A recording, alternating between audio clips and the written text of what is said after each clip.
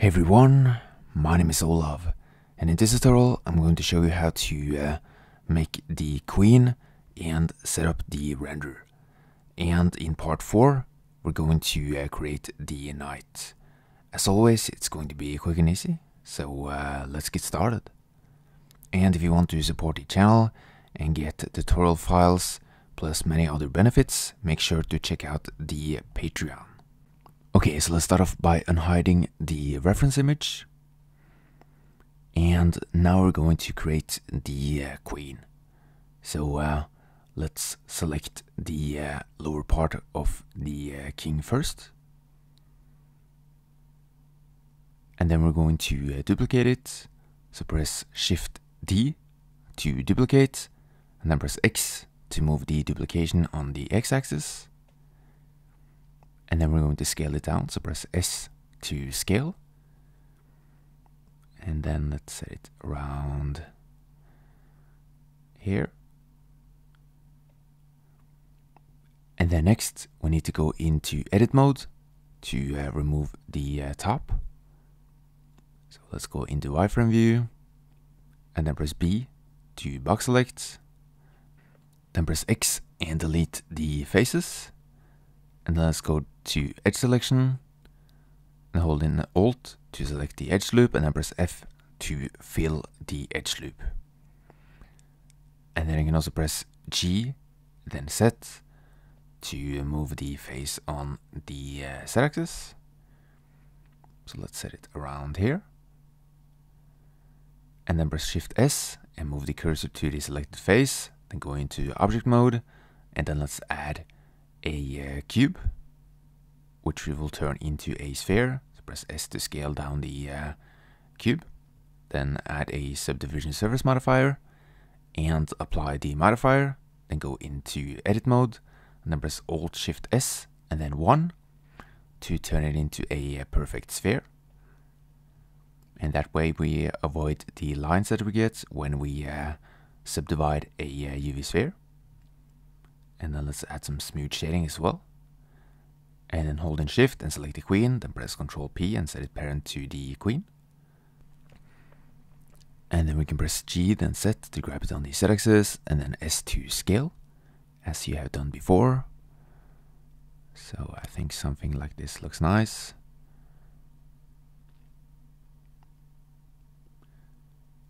I'm just going to speed up the parts with the small adjustments, and then uh, let's save one more time. I'm going to call this one Queen and then press enter to save and then press shift D then Y to uh, move the duplication on the y-axis. And we're going to use the uh, brush boolean. So uh, hold in shift and select the queen and then select the difference. And then you can move it on the y-axis. And uh, let's uh, set the uh, shading to flat like this. And uh, then we're going to duplicate the uh, sphere. So uh, set the uh, pivot point to the 3D cursor. And then I'm going to set it around here. G then X to grab it on the X axis. And then press Shift D. R Z the 90. And then press Shift R to repeat the previous actions. And uh, now we have uh, four different Boolean brush objects. Like this. And uh, then we can select them all and uh, edit them. So let's uh, set the pivot point back to the individual origins and then select all of the uh, spheres make sure to uh, deselect the queen first and then you can press S to uh, scale them up.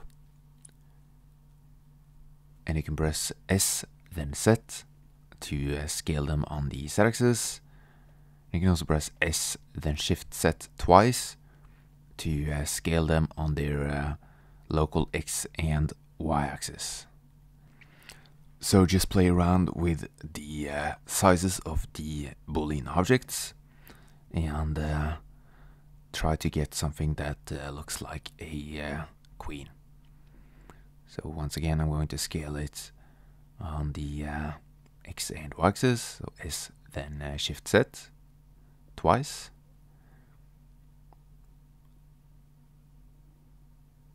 And I think something like this looks okay. You can press G, then Z to grab them on the uh, Z axis. Okay, and then let's save one more time. Click on the plus sign and then save. And then we can uh, unhide the uh, chessboard. And then next, we need to uh, set up the uh, rendering settings. But first, let's uh, set everything parent to each other. So press Ctrl P to set uh, the boolean parent to the bishop, and then the cross parent to the king. And then uh, let's uh, fix the pawn as well by setting the sphere parent to the rest of the pawn. And then we can scale up all of these uh, objects by pressing S. Let's try to make them uh, large enough for the uh, chessboard. And then we can select the pawn and press G and then Shift Z to move it only on the X and Y axis. And then press G, then X to move it on the X axis. The uh, chess pieces still look a bit small, so I'm just going to scale them up even more. So S to scale. And uh, then we need to duplicate the uh, pawn. So uh, let's select the whole pawn, numpad 7 for a top view. And then press uh, Shift D, then Y to uh, grab the duplication on the Y axis and uh, then I'm going to uh, move and duplicate the rest of the pieces as well. And then shift D and X to move the pawns on the x-axis. And uh, make sure that every piece is in the right position. Uh, let's duplicate the uh, queen. And then shift D to uh, duplicate the queen and move it on the x-axis. And uh, then let's duplicate the uh, king. Now, let's save before we continue. So uh, let's uh, save as. I'm just going to call it board and then press enter to save. And if we increase the number of subdivisions for the queen, the uh, Boolean brush gets uh, messed up. So I'm just going to set the number of subdivisions for the render to the uh, same number as in the viewport. So set it to 5. And then for the bishop to uh, 5. And um, let's set the rendering to cycles, GPU. If you only have a CPU, you can just use a CPU. Number of samples to 200. And then for the tiles, if you have a GPU, you can set it to 512. If you only have a CPU, you can just leave it at 64. Okay, and then next we need to add a background image. And for that, you can go to the link in the description. And I'm going to use the Chelsea Stairs background image. So let's open it after you have unzipped it. Add the HDR image. And then press numpad 5 in case you're in orthographic view. Next, we're going to add a uh, plane below the uh, board. So press Shift A, add a plane, then press G, then Z, then S to uh, scale it up. And uh, now it's time to add all of the materials. So uh, let's start off with the plane. Let's uh, make it diffuse. And then let's go into rendered view and uh, then I'm going to uh, make the material for the board diffuse as well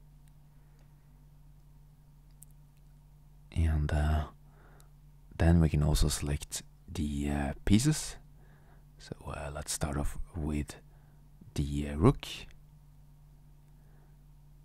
Just going to call the material black pieces. And let's make it glossy. And uh, let's set the color to black.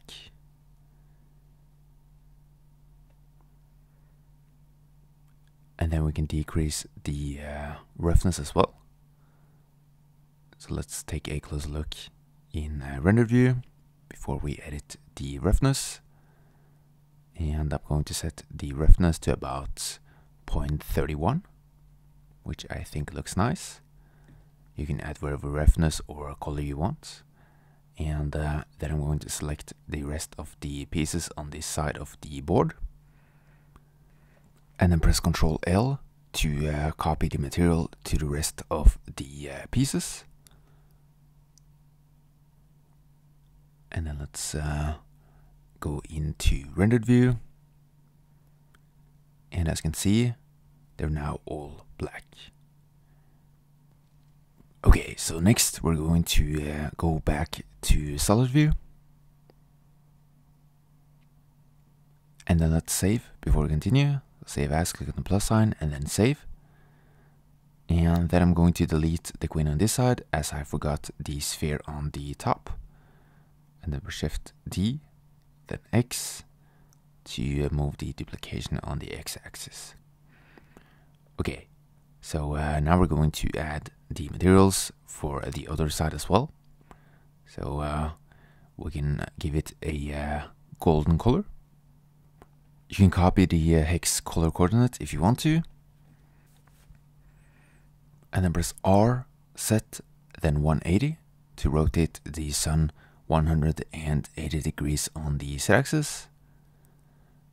And then next, I'm going to add the uh, golden material to the rest of the pieces on the left side. So holding shift to select multiple pieces.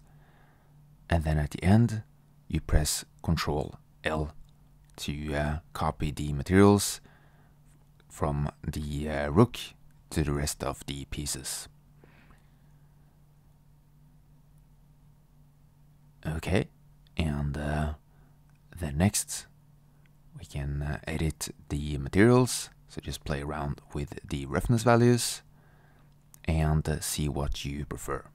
You can also make the uh, floor or plane a, a bit darker if you want to, or give it a glossy material. Next, I'm going to go into the render settings. So uh, set it to 100% if you want 1080p, or 200% if you want 4K. And uh, then I'm going to save one more time. And I'm also going to uh, decrease the number of subdivisions so that the render is a bit easier on your computer. So uh, let's go into rendered view. And uh, then I'm going to select this pawn and uh, go into the modifiers and uh, decrease the number of uh, subdivisions in uh, the final render.